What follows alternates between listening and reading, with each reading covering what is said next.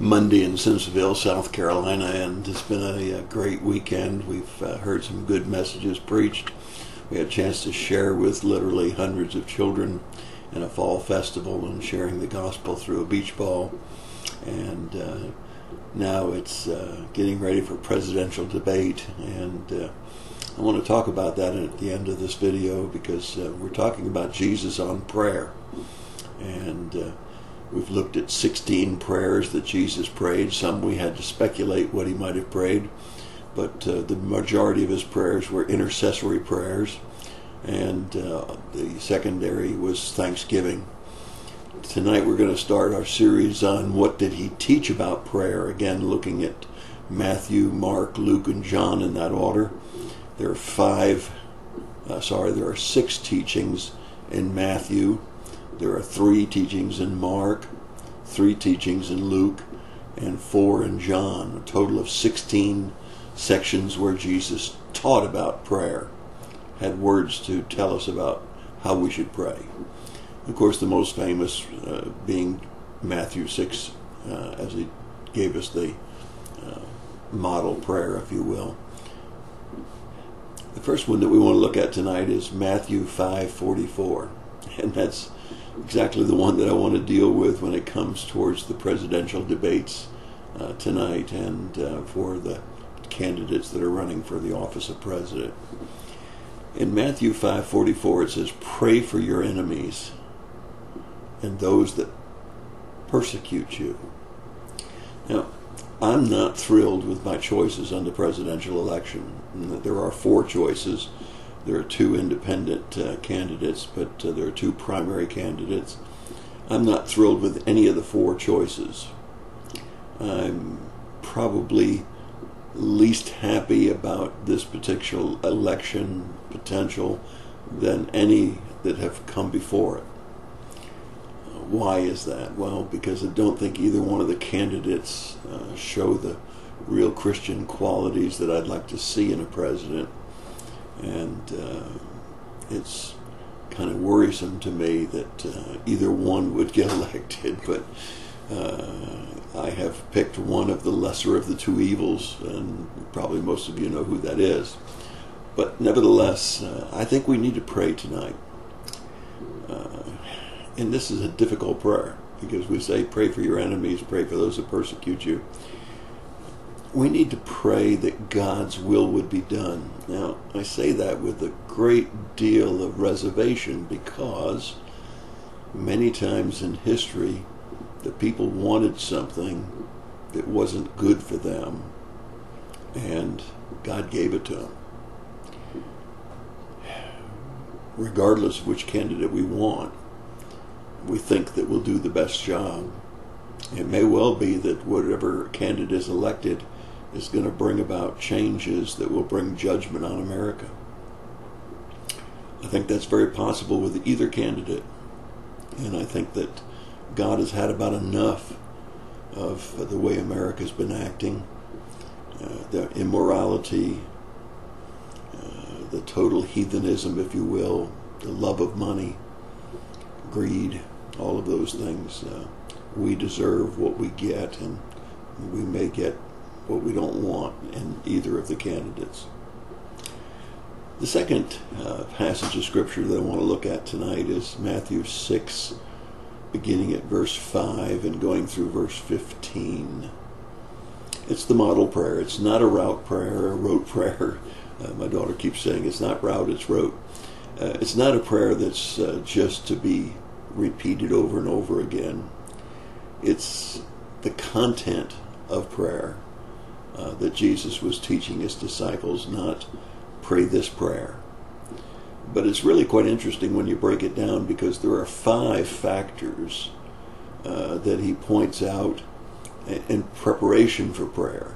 He says, uh, be sure that uh, when you pray, you don't pray to be seen or to be heard.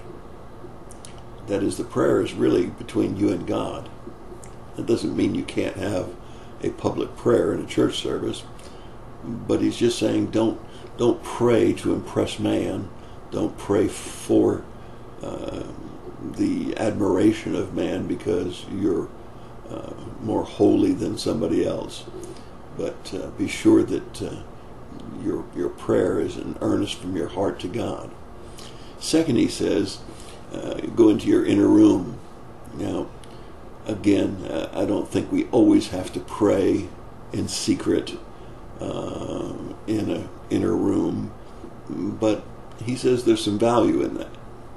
Third, he says, uh, pray to the Father. Pray to God the Father and do it in secret. Then he says, don't pray with vain repetition. Don't just keep praying the same thing over and over again without examining what your heart really feels.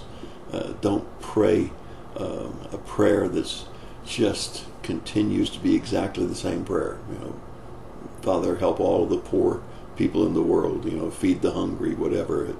Uh, and and don't just keep repeating the same phrases just because it's easy. So not vain repetition. And then he says, and not for the length of the prayer. Uh, a lot of people think that a prayer is only good if it's a long prayer, and I'd recommend you take a look at Elijah's prayer on Mount Carmel if you think a long prayer is necessary. But but don't worry about the length of the prayer. And then he kind of explains that. He says, because your Father already knows before you ask. Now he wants us to pray, but don't don't forget he knows our hearts and he knows what we're going to ask for even before we ask it. So we have five points here in this model prayer, if you will, uh, that are just in preparation for praying. Then there are 10 points, total of 16 points here. Uh, excuse me, 15 points here.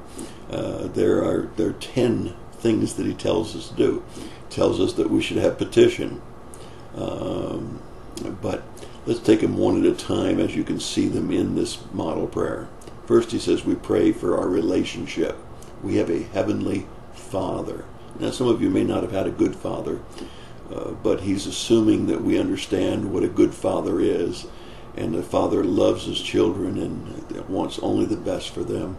And so he says, understand the relationship that you have with God. Then he says, we understand the position that the Father is in. He's in heaven. Uh, he is exalted already.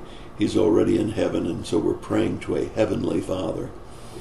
And then he says, praise. Uh, he says, hallowed be thy name. And uh, we'll find that praise is repeated at the very end of the prayer model as well. But he says then to pray for his kingdom to come. And friends, we may be at that point.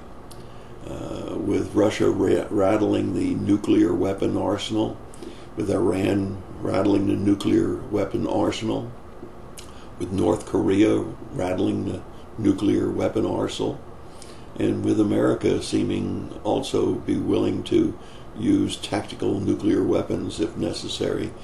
We are very close to the end. Uh, the signs of the times in Scripture are everywhere, and certainly the potential of poisoning a third of the earth's water and burning up a third of the earth is is becoming more and more realistic as we think about these nuclear weapons and getting into the wrong hands and somebody pulling the trigger when they shouldn't have. But it says, Your kingdom come. And we ought to be ready for that. We ought to be ready for His coming tonight. We ought to be ready for His coming tomorrow because we are very close to the end times. And then He tells us to pray for His will. Not our will, but His will to be done on earth as it is in heaven. And whether that's Hillary or Donald, uh, or whether it's one of the other two independent candidates, we need to pray for His will to be done and accept whatever His will is, even if it's the beginning of judgment on America. Then he says that we can make our petitions, our petitions for our needs, not all of our wants, but our needs. He says, Give us this day our daily bread. And then he tells us to confess our sins, forgive us of our sins. And he, we want him to cleanse us from all unrighteousness. But he goes on and says, as we forgive those who sin against us, that's forgiveness. So we have confession and forgiveness in that same section. And it's very, very important. It says because if we want to be forgiven, we need to forgive those who have trespassed against us. Then he uh, includes a prayer in the prayer part of guidance Lead us not into temptation. Uh, lead us in a, a correct, righteous path. And when we get off the path, deliver us from evil. Get us back on the right path. And finally, it ends in that praise uh, that we know that His kingdom and His glory are forever and ever. Two prayers, uh, instructions on prayer, rather. Uh, one, to pray for our enemies and those that persecute us. That's hard to do. It's hard to pray for your enemies. I know that. And then he tells us how to pray. Uh, get prepared for prayer, the first five points in Matthew 6, 5 through 15. And then what the content of our prayer should be, uh, covering all of these bases. Uh, is the way we should pray. That's your thought for the day. God bless you and have a great day. Remember to watch the debate and pick your candidate according to what you think uh, will hold up the closest to God's standard for America. We only have four choices. They're not good choices, and none of them seem to represent all of the things that God would want for America. But uh, you watch the debate and let God and the Holy Spirit guide you in who you should vote for. That's your thought for the day. God bless you.